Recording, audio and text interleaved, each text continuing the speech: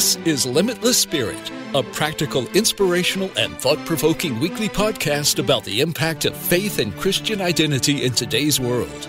And now here's your host, champion of Jesus and people who love him, world traveler and co founder of World Missions Alliance, Helen Todd. Welcome to this episode of the Limitless Spirit podcast. COVID-19 pandemic has affected every aspect of our lives, including our minds. The isolation, uncertainty, and financial loss, and also confusing messages coming from reliable and unreliable information sources, take toll on all of us. But what about people who struggle with anxiety and depression? Depression is the world's largest health problem. It accounts for more disability than any other disease worldwide and is number one reason for the rising worldwide suicide rate. The stigma that comes with the issues of mental health often prevents people from opening up and seeking help. It is especially difficult for people of faith who feel shame in looking for help outside of the Bible and prayer. After conversations with a couple of friends whose struggle with depression intensified through the months of quarantine, I decided to reach out to Dr. Jen Thomas again. She's a clinical psychologist, an author, and a Christian. So we are going to discuss some important questions today. What is the best way to deal with anxiety and depression during these challenging times? How can our faith help us in this struggle? And what steps can we take to help and protect our loved ones struggling with depression?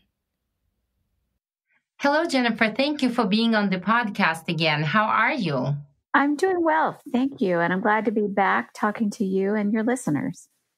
Well, I think we're going to touch on an important subject today. I know that as a clinical psychologist, you help people who struggle with depression. And I have been wondering if this pandemic is putting extra stress on people who struggle with depression, anxiety, and substance abuse.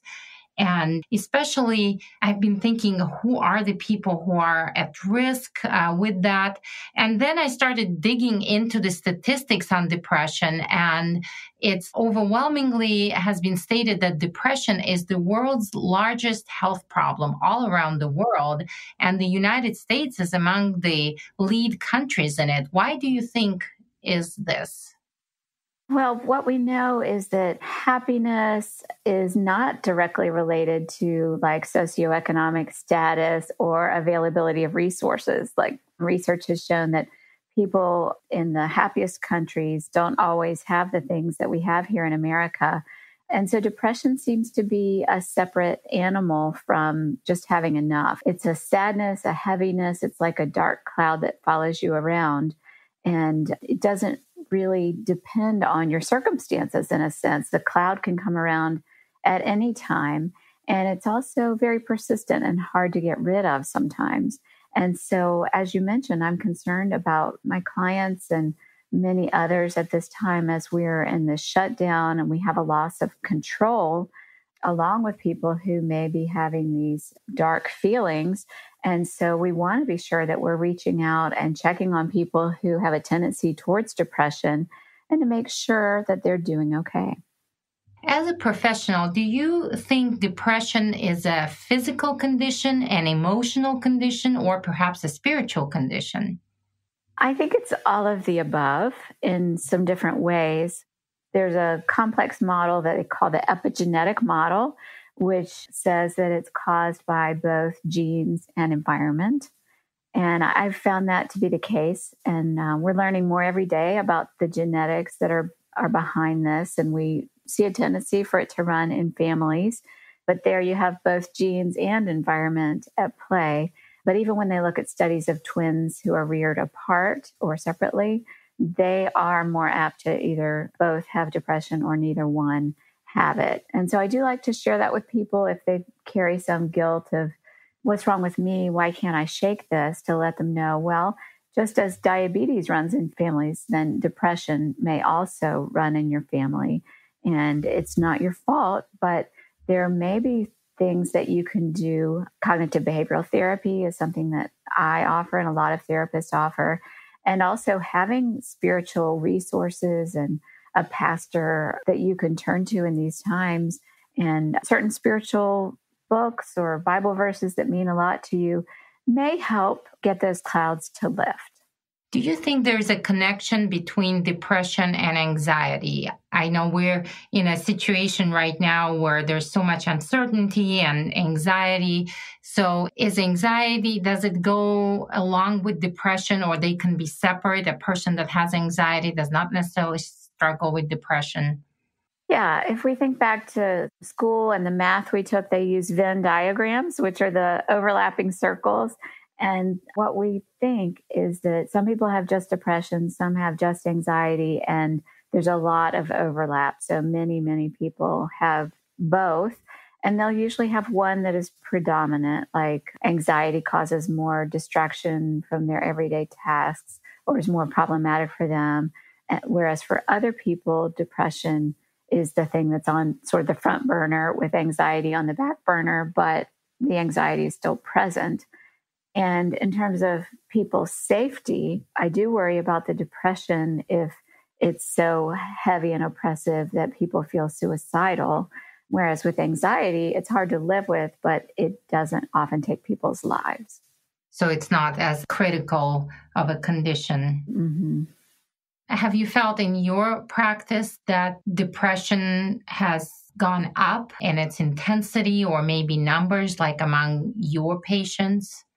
It's hard to say for sure, but I do think that where some people were kind of teetering, functioning okay in their daily lives, but where they've had a loss of job, maybe they're furloughed, maybe they're very worried about their finances because of that. All this loss of security and stability that we typically have here in an industrialized world then I do see depression as a result of sort of the rug being pulled out from under us. I definitely do.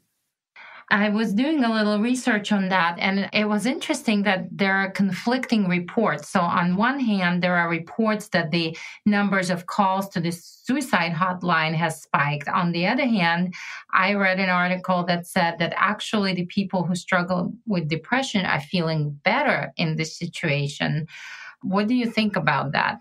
I've heard something similar regarding anxiety, and it, in a way, it made me chuckle because they said, you know, people with severe anxiety it can be like the chicken little who always says the sky is falling, the sky is falling, and and now it is falling, and, and now it is. Or they're very a subset of people who have anxiety have OCD and are very afraid of germs, and so now it's like the rest of the world has joined them in their concern about germs. And so, whereas maybe they've been invalidated over the years for having such a, a dark outlook, there maybe is some validation now of, you see, I told you so. And now they have community or companionship in their worries. I see. But I don't think that would affect the people with actual major depressive disorder, which is not, as you mentioned before, necessarily linked with anxiety. Yeah, with the major depressive disorder, yeah, I do think it's triggered by life circumstances. And so it makes sense to me that the suicide hotline is getting more calls from people who maybe have been on the edge financially or for whom their financial security is very important and they see their portfolio going down. And for some people, especially if their job is ending or they have a company that they're afraid is going to fail, that can be really devastating. So we talked about, you know, receiving spiritual help to help cope with that. Even before this pandemic started, it seems like in the news media, there has been a lot more reports about Christians and specifically pastors being affected by the major depressive disorder and several high profile suicides among the pastors that happened. And it seems like you know, do you think it's affecting pastors more so than maybe other people? Yeah, I've been sad to read about those high profile losses that have occurred. My assumption is that it happens, you know, across time. If we did a study of it, that pastors are probably right in line with overall depression rates and suicidal rates Eh, it may be somewhat higher because you could make an argument because they have the burdens of others to carry as pastoral staff. A few years ago, there were a few pastors who lost teenage children to suicide. And so that was in the news a lot. So I do think there's somewhat of a reporting bias where the once the news cycle notices this pattern, then they're going to report when it happens again. And it looks like, oh my goodness, there's this real problem with pastors committing suicide. But for the time being, I see it as just part of the general problem of people committing suicide and not being able to take advantage of the resources that are out there to support them. And that's why I'm so glad with your podcast today that you're talking about the problem of depression and that we're going to let people know that you don't have to suffer through this alone, even in the midst of a shutdown, that there are resources out there to help. And I agree with you that probably the news media focuses on that because it seems like it's more scandalous, you know, when a pastor commits suicide. And the, I found it interesting that two of these pastors, they've struggled with depression and they even consulted people on depression and helped people with depression. And yet they were not able to cope with it themselves. So, my question is for people of faith, you know, for those of us who have Christian faith and we have this help available to us through the scripture and through just our faith and hope that we have in Christ. So, do you think this is not enough? That does it speak of the fact then that there has to be some other help like medication maybe or counseling? What do you think about that? Yeah, when I see clients who are relying only on their faith and who maybe have a, a level of discomfort with going to a counselor or considering a medication, I tell them, well, what you're doing is sort of white knuckling it through. And that does work for some people. Most people, if they can get through a depression safely, it will eventually lift, usually um, after maybe six to eight weeks. But the problem is that it comes back as well. And every time that they're in that depressed state, there's a risk of suicide. And so I prefer for my clients not to white knuckle it, but to do what research has shown helps the most, which is for some people, medications and then combining it with cognitive behavioral therapy. And I've seen people who do that, their outlook changes. They find that things that used to worry them or get them down are not as bothersome and they don't feel as weighty as they did when they were just white knuckling it and trying to get through. So that makes me ask two questions. Number one, and I'm going to ask both of them before I forget. Mm-hmm. Number one, is depression curable or it's a chronic ongoing condition? And number two, there has been so much controversy about the medication and the antidepressants. So I want us to touch on that too. But first, let's focus on the possibility of it being completely cured. Have you seen cases like that? Trying to think of an exception. No, I would say the rule is that if someone is prone to depression, they continue to have those cycles, but the depth of the cycles and the frequency can be reduced with the combination of counseling. And for many of my clients, they also benefit from having some antidepressant medication as well. Although I want to say that I don't prescribe medications myself. I'm a PhD, not an MD, as you know. And so, you know, I, I work in partnership with psychiatrists and I've, I've seen the benefit. Some clients come in and their whole demeanor is changed. Their mood is is much lighter. And then we work on those cognitive behavioral skills. Like there's a, a problem for some people where they have negative self-talk. They have catastrophic thinking, which is it's what it sounds like. They catastrophize about things. And so the work of a counselor or psychologist is to help them recognize those automatic thoughts and to try to have a more positive outlook and to increase their ways of coping so that when the next cycle comes, they might be able to continue to function and not sort of pull into themselves and withdraw and have their world become um, very small. In fact, some can't even do their work at that time. They just really retreat to their bed and pull the covers over their head, which is miserable for them and also for the family members and bosses who are depending on them. So no, I haven't I haven't seen a cure yet. And then So there has never been a case where a person has been completely depression free. I have not seen it happen. Of course, they probably don't come back. right. Yeah. Some counselors might say that they've seen it, but yeah, our our sample is the people who come back to us. Exactly. We will pause here for now. There is nothing shameful about the struggle with depression. It is not a personal flaw, neither it is a sign of a spiritual weakness. It is a battle, sometimes a lifelong battle that requires partners to help and appropriate weapons. There is no shame in reaching for help if you feel like you're losing this battle. Don't fight it alone. Like Dr. Jen said, don't white knuckle it. If you have a loved one who struggles with depression, call them today. Talk to them, ask questions, and listen to their answers. I'm posting links in the show notes to uh, several helpful resources. Depression is like a filter that Satan puts on your perception of life. It distorts your reality to the point that it becomes unrecognizable. It doesn't take away your faith, but it blurs out your hope. It is an attack on hope.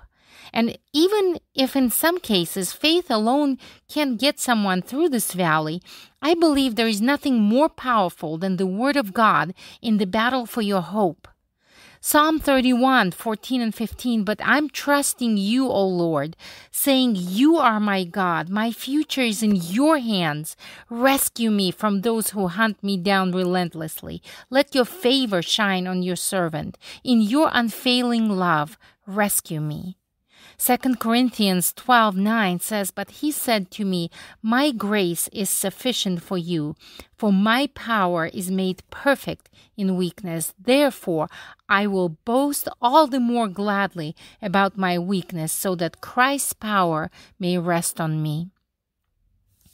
I am praying for you and your loved ones today that you may have strength to win. In the next episode, we will continue the conversation with Dr. Jen about why antidepressant medications are helpful for some but not others. Who is the most at risk for depression? And where do we draw the line between, between helping a loved one struggling with depression and enabling them? Until next time. Thanks for listening to Limitless Spirit with Helen Todd, produced by World Missions Alliance. Are you ready to step out of your comfort zone? Do you have a passion to help people and share your faith across the globe? Visit our website, rfwma.org, and get involved in the Great Commission through short term missions. We hope you'll leave a review and check out other episodes. We'll be with you in a week on our next episode of Limitless Spirit.